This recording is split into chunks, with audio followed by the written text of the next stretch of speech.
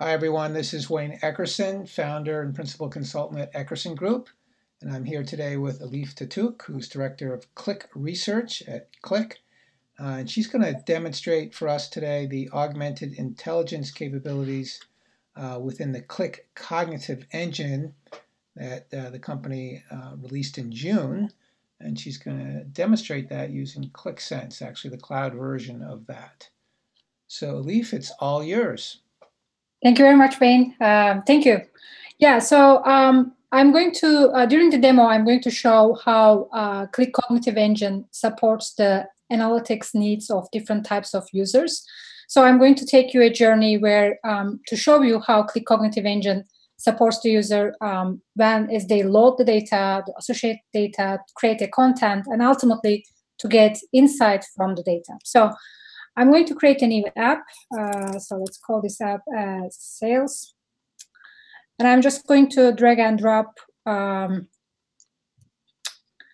um, a file as this is creating the app. All right. Um, so I'm going to load uh, some sales data. So as I'm loading the data right now, what's going happening is actually Qlik Cognitive Engine is running a bunch of um, analytics uh, and statistics on the data to understand the nature of the data and then to come up with suggestions in terms of insights that can be taken from the data. So literally, I just uploaded an Excel file and Cognitive Engine has run the um, algorithms on the data, determined already the different data types like uh, geospatial or time, um, and I'm ready to, to get insights from this data. So this is the new feature that we have released in June uh, called Insight Advisor. Uh, so by just clicking generate insights, Qlik Cognitive Engine is going to render uh, different types of insights that I can get out of my data. So the first thing that I noticed is, first of all, the cognitive engine has recognized that this data is about sales and cost of sales. And then um, by running different algorithms, it was able to pick the, the possible dimensions and measures that can be used to analyze this data.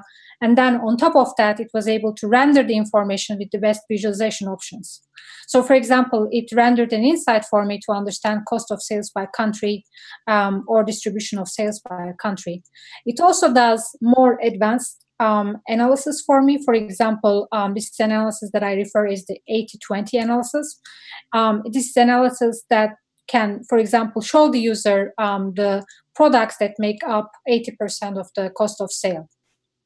So again, uh, literally me as a user, I haven't done anything. I just loaded my data. And now um, I can uh, go through the insights that are being generated uh, from that data.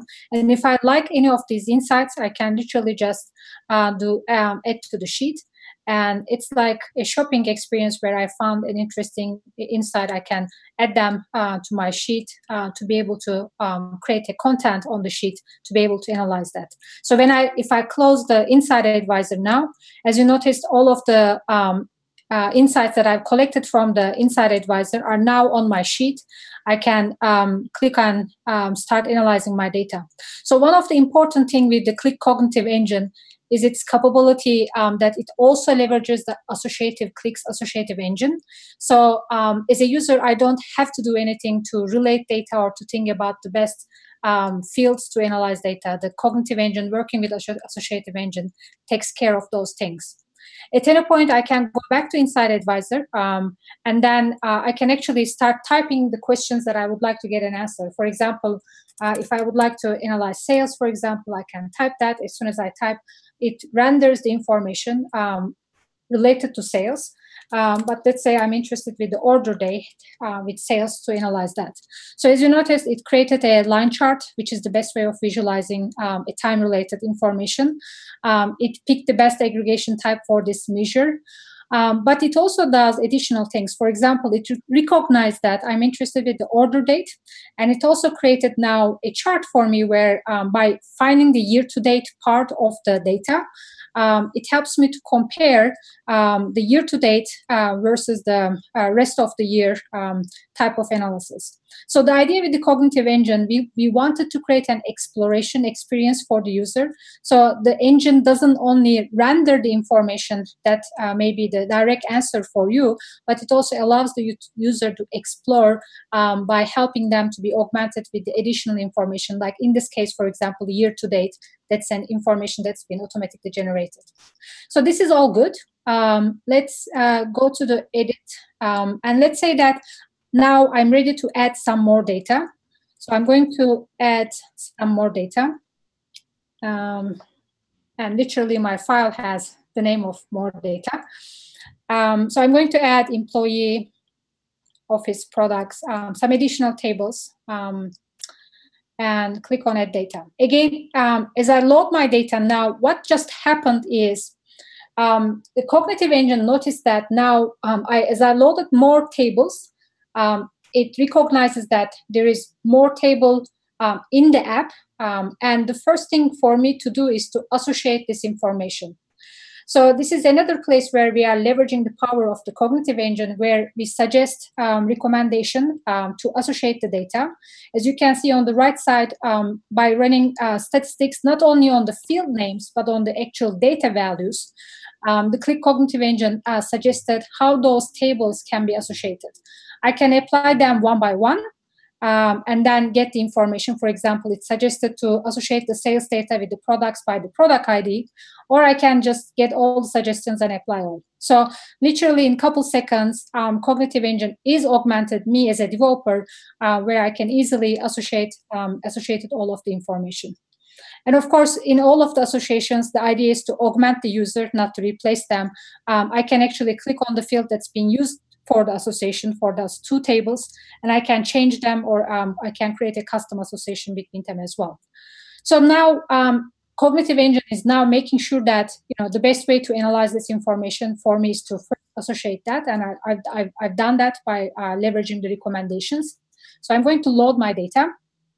And again um, by loading the data now um, the data is and i have fields that i just loaded and these are the um, information insights that I've already um, rendered. So the next thing that I would like to do is um, actually going to create a new sheet.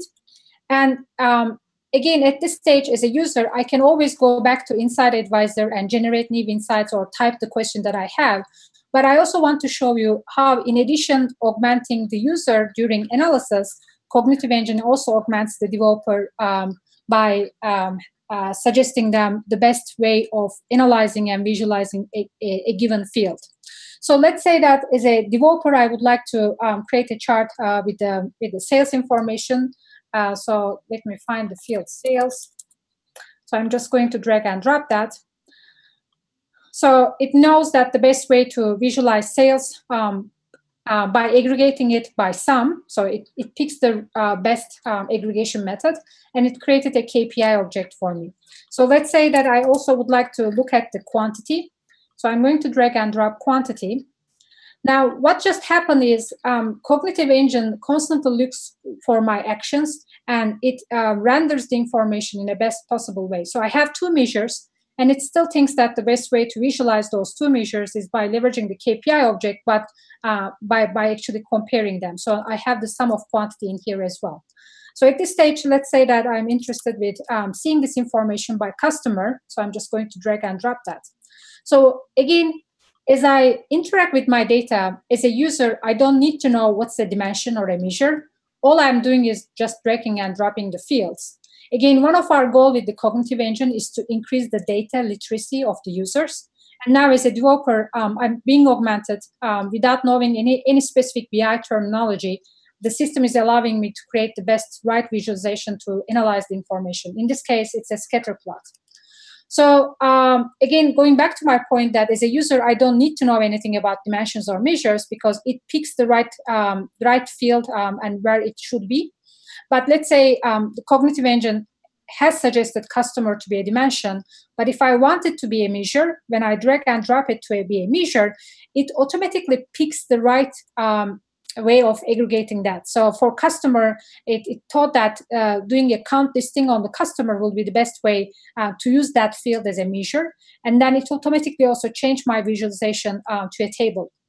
So let's say I want to actually also analyze this by city. So when I drag and drop city, um, again, now given the number of data that it has, um, the best way to visualize this information is a scatter plot, um, and then it rendered the information. And actually, one of the measures, um, uh, which is the uh, distinct count uh, of customers, has been used as the size of the bubbles. Again, going back to data literacy, um, it, it is always helping the user um, to be augmented. Let's say uh, if I want to remove uh, one of these fields, uh, again, it will now render the information as a map. So this is how uh, we are augmenting the user um, from data to get to the insight. Um, and as they load their data, they don't only have the capability to directly go to the um, generating insights. If they choose to uh, make the uh, create the content, they are still augmented, and also they are augmented as they um, associate their data. So the second part of the demo I would like to show you is how uh, cognitive engine also um, analyze uh, helps the business user um, to be augmented um, in a governed environment. So I'm going to open an app uh, that's been already created for me and assume that I'm a business user and I'm using uh, my um, app or dashboard uh, in a governed manner. Um, let's say I'm interested with the distribution efficiency, um, so I can analyze um, the data on this beautifully created dashboard. Again, I may um, as a business user, I have the right to go to the insight. Um, as we all know, um, sometimes the, the question that I may have on a given day, maybe the answer um, has not been created on the on the dashboard. So I can open the uh, Insight uh, Advisor. Again, uh, now as a user, I can just click on the generate insights and then as i haven't tell my intent to the use system um, the cognitive engine in that case is going to use all of the dimensions and measures uh, that's available to me to generate insights. But let's say i have a burning question because i would like to uh, um, analyze this year's sales versus last year's sales. As soon as i start typing cognitive engine provides me things that i can leverage and i already have um, a question that's been defined and I can now look at the this year versus last year sales and it's going to generate the insights. Um, and again, with my connection, um, yeah. Um, so it generated a KPI object that I can see this information.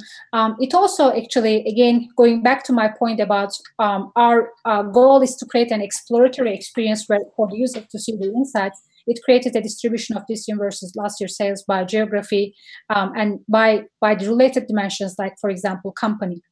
Um, maybe I'm interested with the uh, cost of goods sales uh, for year to date. Um, and let's say I would like to say, see this information by uh, st- uh, store drill down. So again, the point here is um, as soon as I uh, start typing things, um, the the uh, cognitive engine understands my intent and then map that intent um, to the data to generate insights. Again, as I find an insight interesting, I can just edit um, to an existing sheet or I can create a new sheet. And in this case, I'm going to create a new sheet.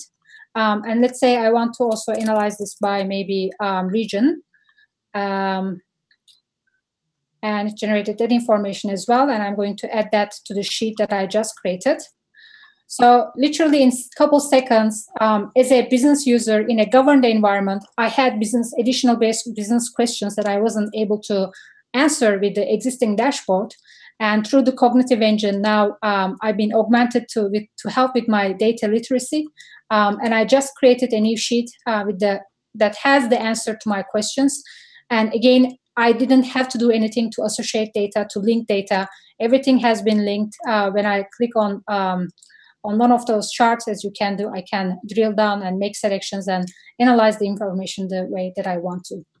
Again, this was a quick demo of the features uh, that we have released in June with the Qlik Cognitive Engine with Insight Advisor, um, helping different all different types of users um, during their analytics journey, uh, from loading the data, associating data, creating a content, and ultimately for all of the business users um, as they create, as they use their apps and the dashboards, they can literally ask the question and get the insight uh, and then leverage that in their um, business analysis.